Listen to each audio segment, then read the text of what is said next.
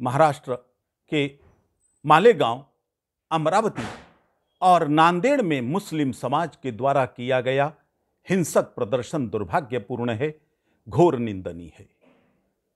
त्रिपुरा की घटना का बहाना बनाकर यह कोई विरोध प्रदर्शन नहीं था, अपितु अपनी ताकत का प्रदर्शन करके हिंदू समाज और वहाँ के प्रशासन को आतंकित करने की एक आतंकवादी गतिविधि थी। यह सिद्ध हो गया है कि त्रिपुरा में किसी मस्जिद पर हमला नहीं हुआ था, अपितु मस्जिद से हमला हुआ था।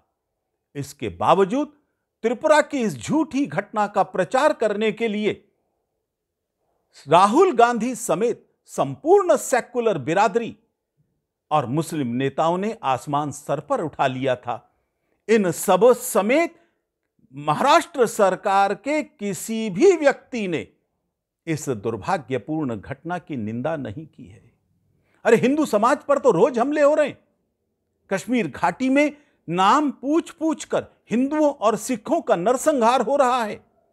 लव जिहाद के नाम पर सैकड़ों हिंदू लड़कियों को जान से हाथ धोना पड़ रहा है।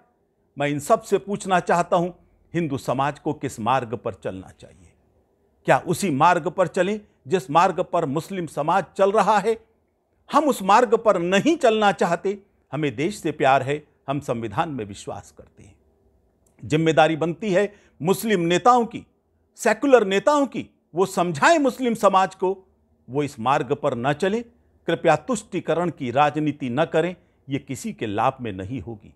शिवसेना को जवाब देना चाहिए, वो बाला साहब ठाकरे के मार्ग पर चलना चाहती है, या तुष्टिकरण की राष्ट्र विरोधी, हिंदू विरोधी राजनीति करने वाली कांग्रेस के मार्ग पर चलना चाहती है।